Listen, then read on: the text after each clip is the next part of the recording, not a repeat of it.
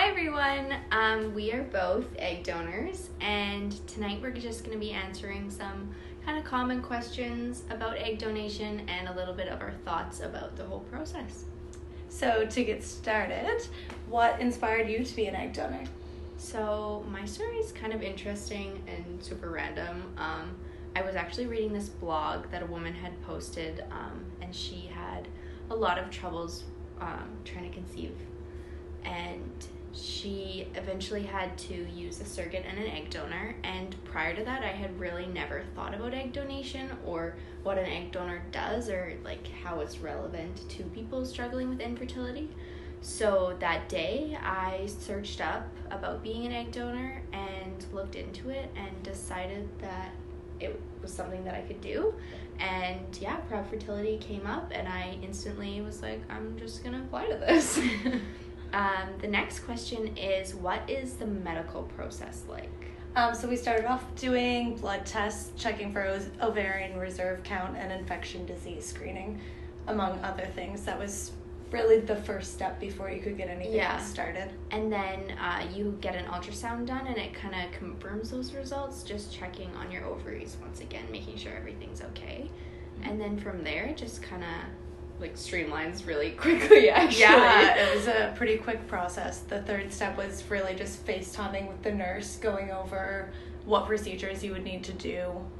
Yeah. the uh, injections. Yes, the injections are like something that I was personally worried about. Mhm. And I was worried that they would hurt or that it would be hard or something, but they're really not No. that bad. And it becomes a normal thing. It's only Yeah. 13 days about that you do it. Yeah, it just becomes routine and you get used to it and they're super informative and they tell you everything that you need to Yeah. do and it's all laid out for you and if you ever have any questions you can ask or they Mhm. send you links of videos if you're unsure about something. Yeah, for sure. They can definitely help Yeah. with those questions. Um, the next one, or the next step really, is um, having either phone or in person uh, consultation with a social worker or a psychologist. And they're basically asking you about your support systems and kind of why you chose to do this. And then they talk to you about whether you chose to be known or anonymous. Um, so I guess, are you choosing to do a known or an anonymous donation? Um, I was really open with it going either way. I think if I had have done an anonymous donation, you just mentally prepare yourself from the beginning. As long as you're really in it to help someone else out and you know that you're doing it from the goodness of your heart, it's easy to do. But this Yeah.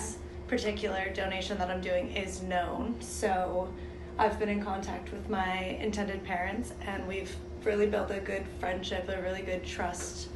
And Yeah. it's it's going well. I like I like it this way, but I'm still open to doing anonymous as well. Yeah, I had said that I would be okay with anonymous or known, and uh, it was really up to the parents' discretion for what they were comfortable with. So I am doing a known donation.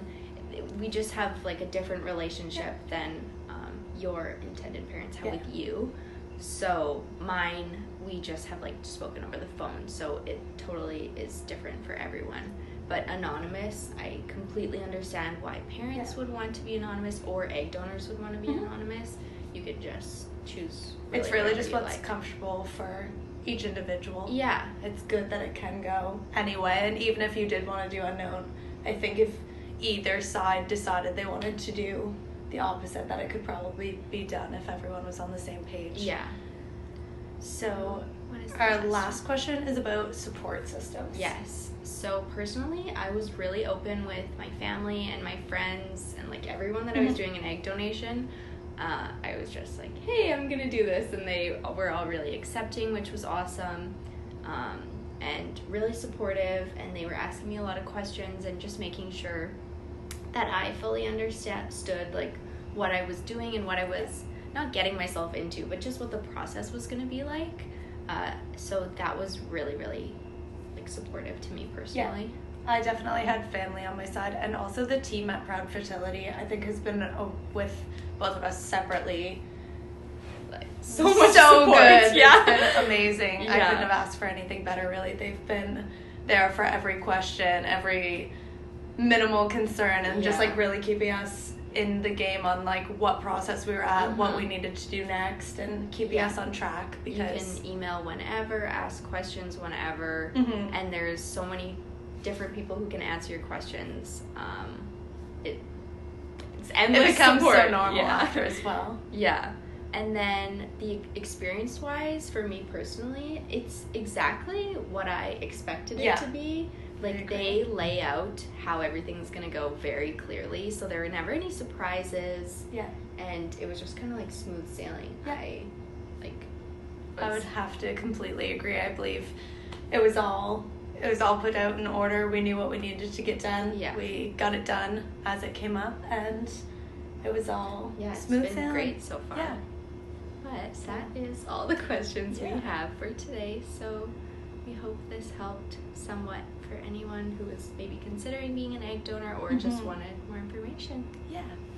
So, thank you Bye. for watching.